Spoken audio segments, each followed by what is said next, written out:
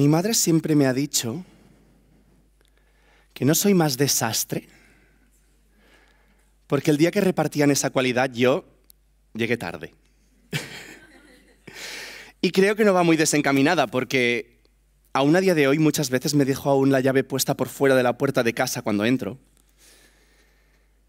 Y siempre me olvido de algo importante cuando hago la compra por muchas listas que me haga.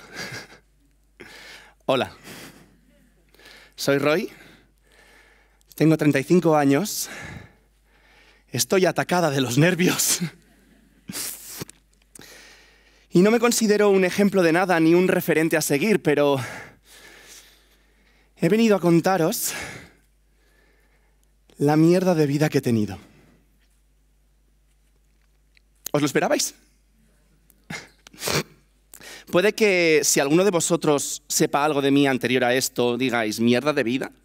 Pero si este pelele tiene más de medio millón de seguidores en las redes sociales y vive como Dios, bueno, permíteme que te diga que esto lo ha configurado tu cerebro asociando una falsa apariencia de felicidad y de bienestar con un hecho que tú has considerado un éxito. Pero estoy seguro que mi terapeuta no secundaría tus palabras. Porque incluso aparentemente, una persona que aparentemente tiene éxito en la vida puede estar arrastrando un trauma en silencio cada día de su vida.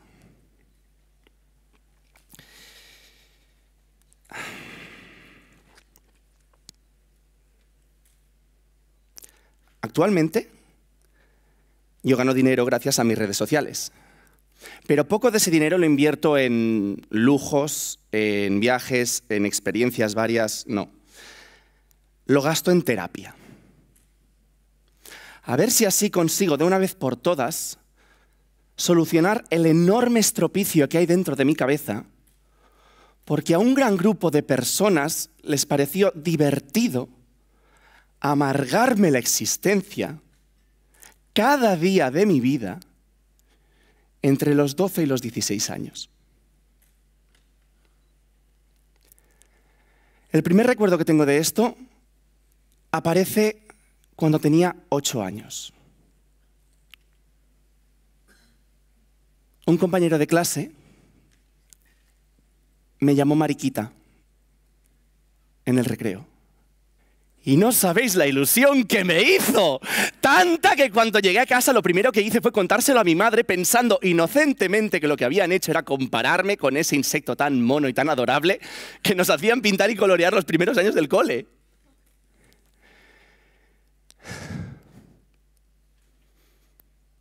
Con tan solo ver la cara con la que reaccionó mi madre, me bastó medio segundo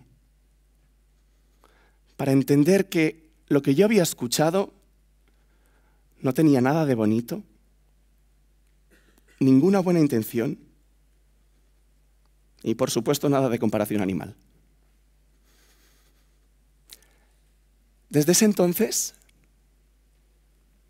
la palabra que más odio en el mundo y que algún día me tatuaré en mi piel es esta, mariquita. El bullying siempre aparece de la forma más inesperada e inocente que existe. Como por ejemplo, con una sola palabra a la edad de ocho años. ¿No os parece jodido que tenga este recuerdo? ¿No os parece jodido que sea una de las cosas que más recuerdo a mi edad de ocho años? Desde entonces, pocos recuerdos buenos guardo en referencia a la escuela y mucho menos desde el momento que pasé de sexto de primaria a primero de eso en el instituto comarcal. Ahí fue donde empezó la verdadera tortura. Desde el momento en que entré en el instituto, no guardo absolutamente ningún recuerdo bueno anterior a los 16 años. De hecho, no, guardo ningún recuerdo completo. Todos son lagunas, imágenes difusas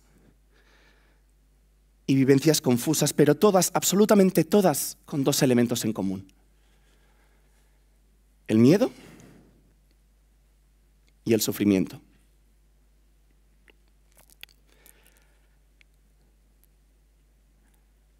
Recuerdo las collejas a lo largo de todo un pasillo, hasta conseguir llegar a la puerta de mi clase, mientras escuchaba cómo me gritaban maricón, con un odio y un resentimiento que para nada me merecía. Recuerdo los bocadillos que me obligaban a comerme, habiendo escupido dentro seis u ocho personas. Recuerdo bajar rodando unas escaleras porque a alguien le pareció divertido tirar de mi mochila para hacerme caer. Y también recuerdo cómo al llegar al suelo absolutamente nadie fue capaz de tenderme una mano para ayudarme a levantarme y todo el mundo siguió pasando a mi alrededor prestándome la misma atención que le prestarían a un ficus.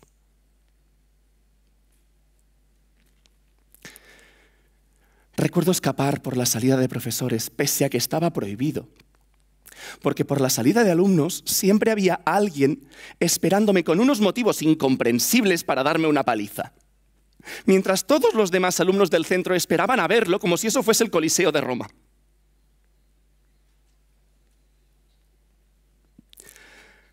Recuerdo correr a conserjería, al despacho del director, al despacho del jefe de estudios, pidiendo ayuda porque alguien en el recreo quería palearme y que estos me volvieran a sacar y me dijeran que tenía que solucionarlo yo, que algo habría hecho y que era mi responsabilidad.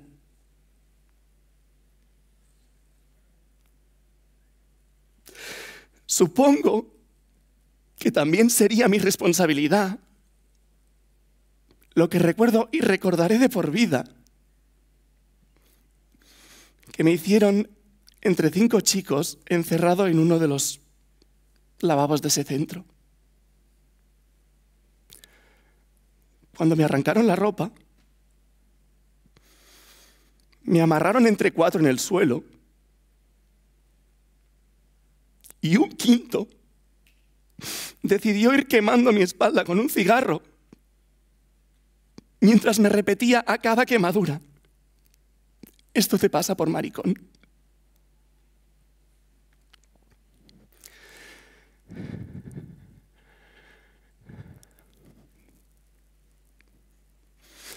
Demasiada responsabilidad para un chaval que solo tenía 15 años, ¿no creéis? Es más, demasiada responsabilidad para alguien de la edad de los profesores y gestores del centro, pero muy pocas ganas de mover lo más mínimo para solucionarlo y ayudarme a mí a tener un mínimo de fe en la humanidad. ¿Qué cojones hay que hacer para que entendamos que el bullying es responsabilidad de todos? ¿Qué cojones hay que hacer para que esto sea un tema de vital importancia en todos los centros educativos del mundo? ¿Qué cojones hay que hacer para evitar que este patrón de violencia y odio gratuitos se siga repitiendo día tras día por todo el mundo?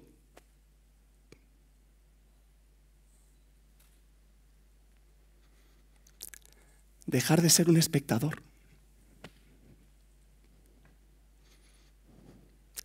Como he dicho hace un momento, el bullying es responsabilidad de todos.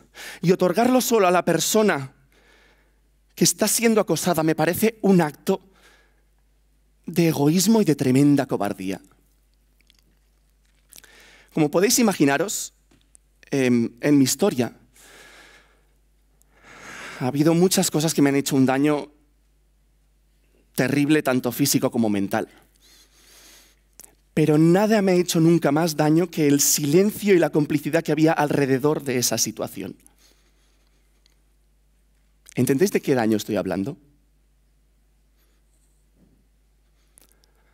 Hablo de que lo que más daño me hacía no eran las collejas, los escupitajos, los golpes, las quemaduras, sino el silencio de todas esas personas que día tras día veían lo que me estaba pasando Día tras día presenciaban lo que muchos me hacían. Día tras día presenciaban la injusticia que estaba viviendo y no hacían absolutamente nada por mí. Nunca nadie me preguntó cómo estaba. Nunca nadie me tendió una mano para levantarme del suelo después de ser apaleado o tirado escaleras abajo. Nunca nadie me defendió de un ataque. Y cuando digo nunca, y digo nadie, quiero decir nadie. Pues no hubo nunca ningún profesor que hiciera absolutamente nada para erradicar esa situación. Ninguno. Era un niño de 15 años, insultado a diario, vejado a diario, torturado a diario delante de los ojos de todas las personas en ese, centro educativo y absolutamente nadie fue capaz de abrir la boca, levantar la voz y decir que eso no estaba bien. Ni tan solo para susurrármelo al oído. Me hicieron creer que era yo el que no estaba bien.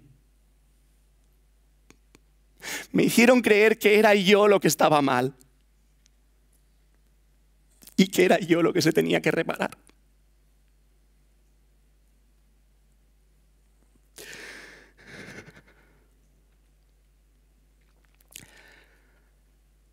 Por increíble que parezca, esto sigue sucediendo constantemente y por muchos avances que ha habido, sigue pasando en todos los centros educativos del mundo. En todas las empresas y en todos los entornos sociales en los que nos vemos involucrados y estamos llegando a normalizarlo de una forma tan terrorífica que está comenzando a deshumanizarnos. ¿Cuántos de los aquí presentes habéis mirado para otro lado mientras a un compañero vuestro de clase le repetían una y otra vez un mote que era bastante desagradable? ¿Cuántos de los aquí presentes tenéis un compañero de trabajo del que os reís bastantes veces porque es raro o excéntrico o torpe?